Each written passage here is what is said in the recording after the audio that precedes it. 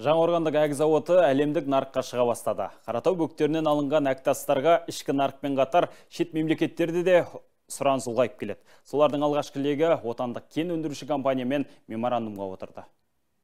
Оңтүстік ауданда онға тарта компания кен өндіру саласында жұмыс істейді. Солардың бірі Ордастрой Март серіктестігі. Әк зауыты 2018 жылы құрылған. Жаңақорған екі кенішінен әктастарын алып, 1200 градуста қыздырады. Компания бұған дейін дайын өнімді ішкі нарыққа жөнелтіп келген.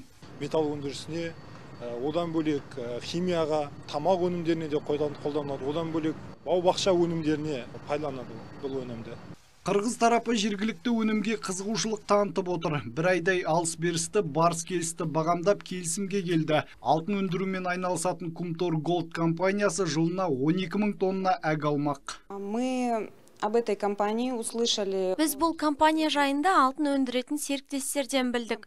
Өнімнің сапасын оң бағалап отыр.